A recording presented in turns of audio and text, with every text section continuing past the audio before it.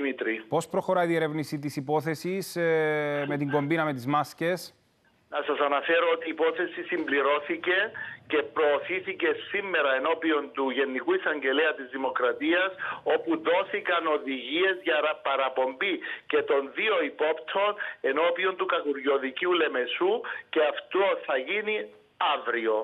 Ε, οπότε ε, τα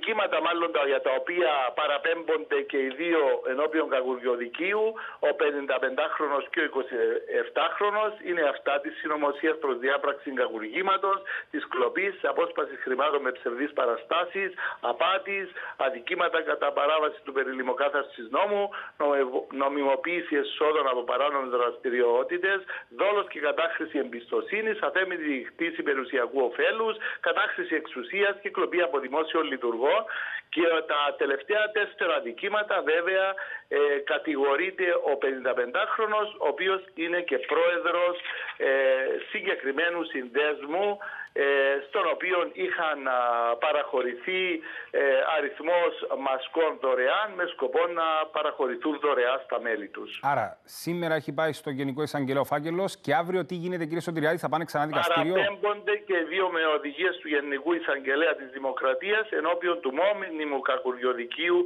που, θα, ε, που εδρεύει στη Λεμεσό για σκοπούς παραπομπής στο, θα, θα, θα στο επαρχιακό δικαστήριο, το οποίο θα τους παραπέψει στο κακουριοδικείο με βάση γραπτές οδηγίες του Γενικού Εισαγγελέα της Δημοκρατίας. Άρα σήμερα στείλατε... σήμερα στείλατε το φάκελο, πήρατε και απάντηση. Μάλιστα, μελετήθηκε το μαστηρικό υλικό και πήραμε και την απάντηση. Τα πρόσωπα αυτά βρίσκονται υποκράτηση και αύριο η υπόθεση θα παρουσιαστεί ενώπιον του δικαστηρίου για να ζητηθεί η παραπομπή τους ενώπιον του Καγουριοδικίου. Και τελικά γιατί πόσο μιλάμε, κύριε Σωτηριάδη, που αυτοί μιλάμε, μιλάμε το, για το ποσό των 5.920 ευρώ ε, που αριθμεί στις 16.000 μάσκες οι οποίες ε, φαίνεται από τη μαστηρία που εξασφαλίσαμε ότι είχε πολιθεί ε, έναντι του πιο πάνω χρηματικού ποσού. Άρα 16.000 μάσκες για 5.920 ευρώ. Τη στιγμή που οι μάσκες είναι δισεύρετες, τις θέλουμε για τη δημόσια υγεία.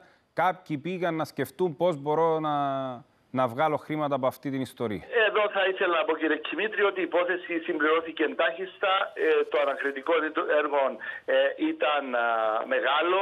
Οι ανακρίσεις ε, έλαβαν χώρα όχι μόνο στη Λεμεσό αλλά και σε όλες τις επαρχίες, Παγκύπρια δηλαδή. Συμπληρώθηκε ο, ένας ογκοδέστατος ο ποινικός φάκελος, ο οποίος είχε την κατάληξη που σας ανάφερα προηγουμένως. Να είστε καλά κύριε Σωτηριάδη, σας ευχαριστούμε για το χρόνο σας. Εγώ σας ευχαριστώ.